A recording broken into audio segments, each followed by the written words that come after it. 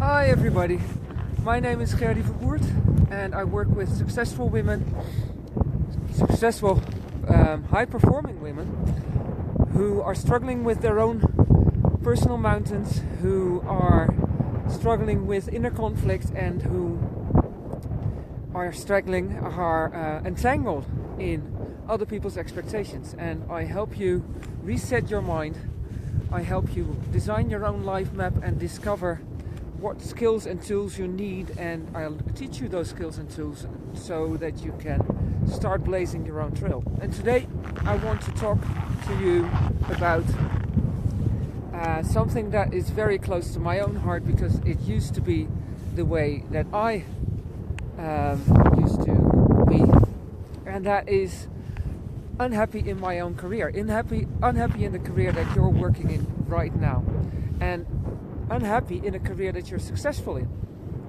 As you can see, I am standing on a ski slope today because I was um, lucky enough to be able to change my career and start working in something that I really love to do. But before I got to that point, I was in an entirely different career and very unhappy in it too. And nobody knew nobody knew. And I am sure there's people among you there's uh, that are in a similar position right now. People, um, you may, and you may be one of them, that is, for all intents and purposes, and everybody looking at you would think that to be the case. Very happy, very successful in a career. There's nothing to be unhappy about. You may be living in a very nice house in a great neighborhood. You are going on wonderful vacations you have um, a wonderful life. Everybody looking at it would think so, and still, there are times, more times than you care to admit, that you feel totally unhappy with what you're experiencing every single day in your work.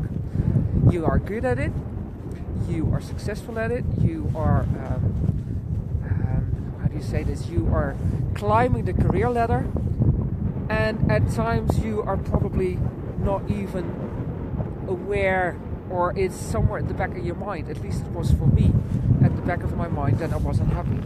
And I'm ho- I hope you can hear me because, of course, I found myself a wonderful spot to be in. And then the wind picked up. And it's five o'clock, so there's nothing I can do about that right now. I have to, uh, I told you guys I was going to be here at five o'clock, so here I am. And if you're here, just let me know that you're watching um, say something like a trailblazer. Hi, Callista. Glad. I hope it's warmer where you are because it is really cold out here today. Um, so that's why I was fidgeting. I was trying to get one of my hands in my pockets. Um, but talking about the career that you're in and that you're really successful at and that you're unhappy in. If I look at my own experience, I used to be a successful project manager. I climbed the career ladder. I started at the bottom. I started as um, a project leader's assistant and slowly climbed the ladder. Not because I intended to, not because I wanted to, but it was rather something that happened to me. I am, I was a perfectionist. I wanted to do whatever that I was doing very well, and I know lots of people who have told me that they are like that as well. And every couple of years, somebody would say to me, Well, Gerdy, you're doing so well. Why not move on to the next position? So I was sort of climbing the career ladder without intending to. I always thought, Well, I'll do this for a little while and then I'll figure out what it is that I want to do. And over the years, I've talked to a lot of people, especially since I left that career and moved to Austria and started doing what it is that I wanted to be doing, that have told me geez, I wish that I had the courage to do as you did. I wish I had the, um, I knew what it is that I want to do because I know what I'm doing is not what I want to be doing. I know that what I am doing is not making me happy, but I haven't got a clue. I don't know what it is that I want to be doing. And I don't know how to figure it out. And I had that I had that same problem. And it's not like they or I back then was um, continuously unhappy. You know, there were phases where I would go through being unhappy in my career. Then I would have be so busy. I would have to do.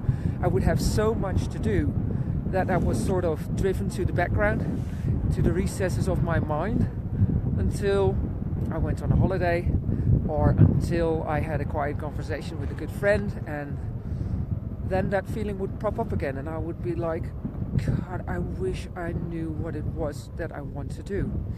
I knew, I wish I knew more than just that this is not what I want to be doing. But how do I figure that out?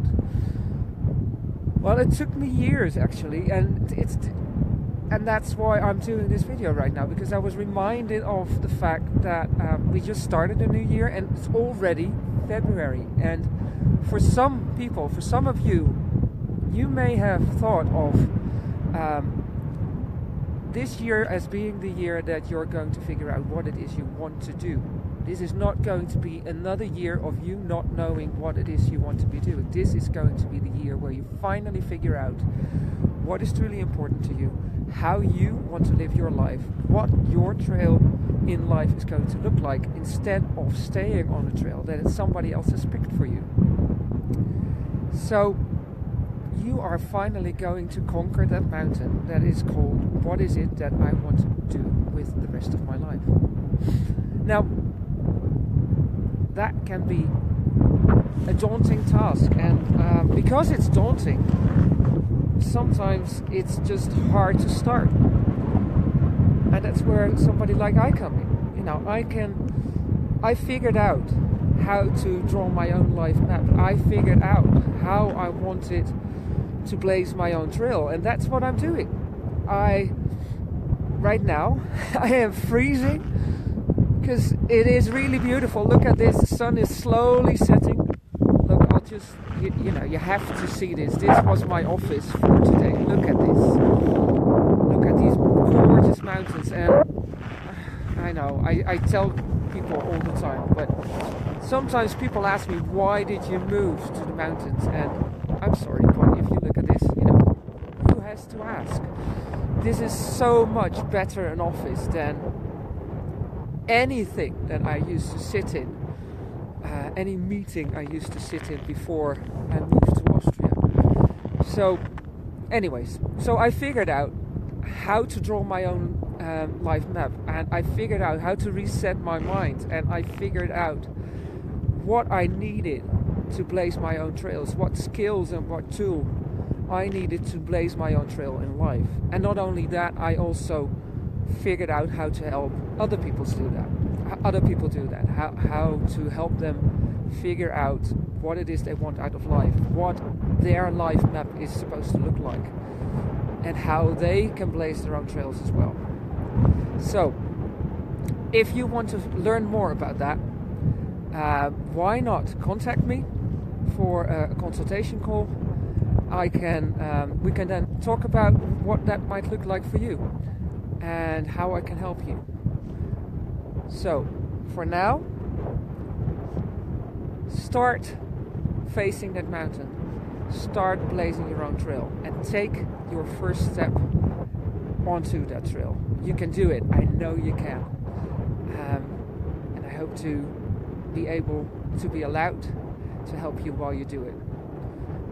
Have a great day, wherever you are. Callista, if you're still watching, I hope it's warmer where you are. I know there's great skiing in California, but I also know there's areas where it's really nice and warm right now. I'm going to ski down the mountain and enjoy my final run of the day. Have a great one, everyone. Go blaze your own trail, and most of all, go dare greatly. See you guys soon.